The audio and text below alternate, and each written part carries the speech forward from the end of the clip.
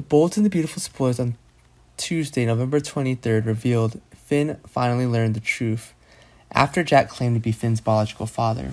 Finn's whole life, he only knew that he was the adopted child of his adoptive parents. But Sheila appeared at his wedding, and that truth behind it was revealed. But let's not get into the complicated problems of Jack. When Sheila declares that she is Finn's biological mother, it is also when he learns that she is the sworn enemy of Steffy, his bride. Right now, everything seems to be in turmoil as the one who did terrible and crazy things to the Forrester and Logan family is here. Sheila, the biological mother of Dr. Finn.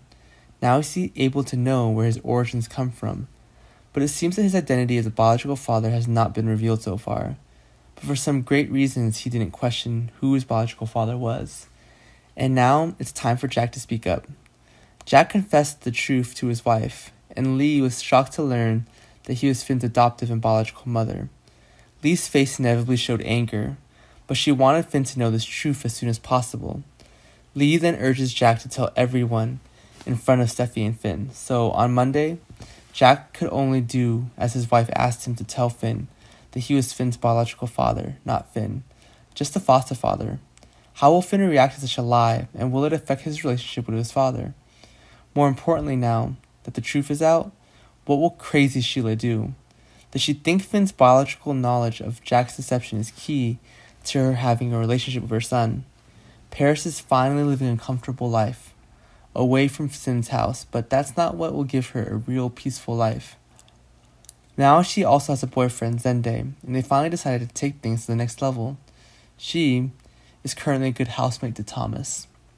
But then Thomas confesses his romantic feelings for her, which will leave Paris confused and embarrassed by the feelings both men want for her at the same time. Paris didn't know what to say to Thomas at first, and she thinks they are just friends. Unaware that Thomas has feelings for her and wants her to be his girlfriend, well, now she knows his wish and will become confused when faced with his tract. It's possible that she cannot resist Thomas's feelings and will develop and maintain that relationship, or because of her commitment to Zende, will decide to reject Thomas. If she says no, this will disappoint Thomas, but whether he will accept to let go of that affection for Paris is what matters. Thomas will return as a lover with many intrigues and tricks, or will accept to give up things that do not belong to him. However, there won't be anyone like Paris.